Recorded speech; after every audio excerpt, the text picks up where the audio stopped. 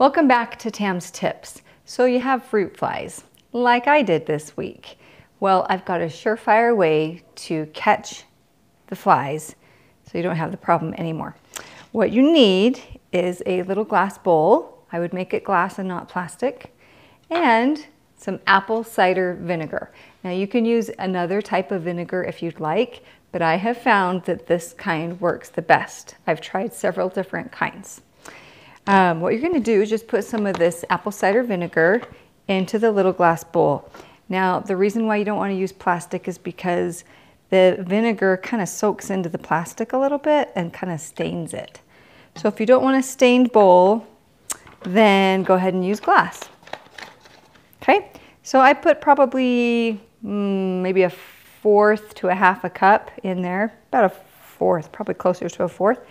And now I just need a little bit of saran wrap. Put over the bowl. And put it really tight over the bowl.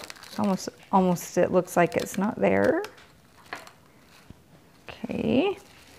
Then if you can find a sharp object, um, I'm gonna use a meat thermometer. I take the lid off. It's really sharp. So you could use a pen um, or a pencil but I have found that this works the best. So now I'm just going to poke holes into the saran wrap. So the fruit flies are attracted to the apple cider vinegar and they go down into the hole seeking after the vinegar and they can't get back up. Now, if you haven't caught a fruit fly or two within, I'd say, about an hour, then you may need to make your holes a little bit bigger. I always find that I'm coming back making the holes a little bit bigger. Not all of the holes, but just a couple of them. So I'm just gonna start by expanding just a couple of them, just a little titch, just a little bit. Okay, fruit flies will go in, then they can't come out. Um, it takes about 24 hours to catch a bunch of them. They just kind of slowly wander to it and and enter the bowl. So, you know, plan on at least a day, day and a half of just leaving this sitting out.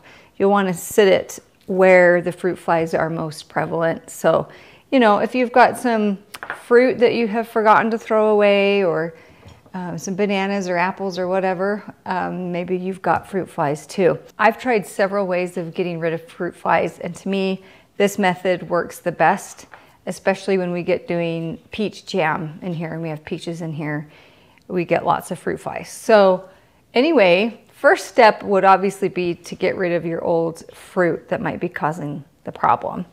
Um, but once you're past that point of no return and you have fruit flies, this will certainly work really good. Now, here's a, let me get, show you a close up of those holes. Now, let me show you a jar that's already been sitting out for several days. This is kind of what it looks like. Every once in a while, I'll kind of, if there's one, if there's a fruit fly that's stuck on the top that's still alive, I'll kind of just get them sticky and get them to fall down in. And so there's a little bit of vinegar up on the top of, of the plastic wrap. But you can see just how many um, I have been able to catch there's probably ooh, maybe 30 or 40 in there or so. It's kind of gross, um, but very effective. So let me know in the comments if this works for you. Let me know if you've used apple cider vinegar, if it works, or if you use something different and it works. I would love to hear it, and I'm sure others would also love to hear it as well. So I hope I've been able to help you at least a little bit today and uh, we'll see you on the next Tam's Tips.